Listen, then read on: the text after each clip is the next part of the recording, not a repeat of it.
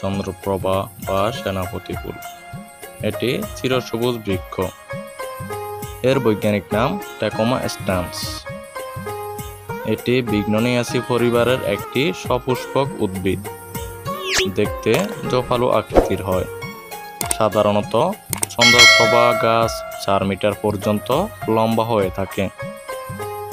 তবে আলো বাতাসের প্রাপত্তা মাটির গুণাগুণ ও স্থানভেদে এর কম বা বেশিও হতে পারে।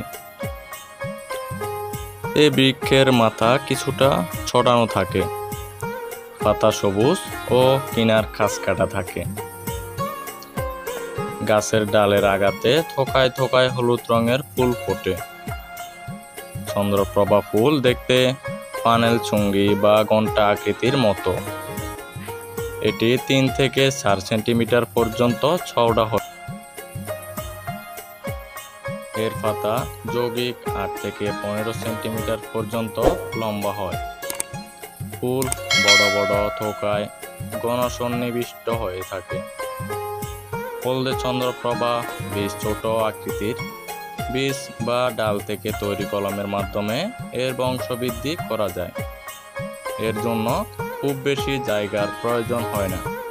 বড় উঠান বা ফাঁকা ঘরের ছাদেও বড় আকারের টবে লাগানো যায়।